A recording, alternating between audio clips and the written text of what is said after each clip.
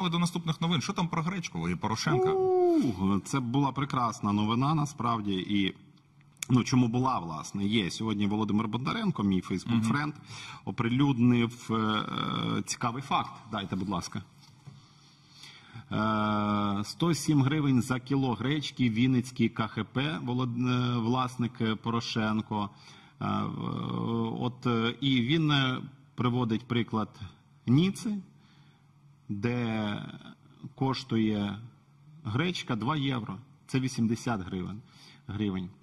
Е, Власне, там внизу там є підтвердження того, що от у мене є окремо, що власником є е, Порошенко Олексій Петрович, не чужа людина Петру Порошенко, яка, наскільки мені відомо, зараз перебуває в Швейцарії.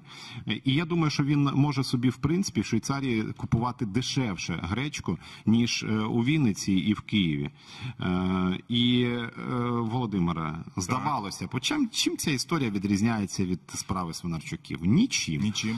Ну, абсолютно. Тобто, е, ну ти можеш скільки завгодно там купувати цих машин там і таке інше. Але якщо ти от в таких от дрібних якихось е, моментах е, намагаєшся трішечки бути здирником, так? От, ну все це нівелюється. І в результаті люди все це бачать. Тому ти можеш робити отакі от фото на фоні броньовичків. Отакі.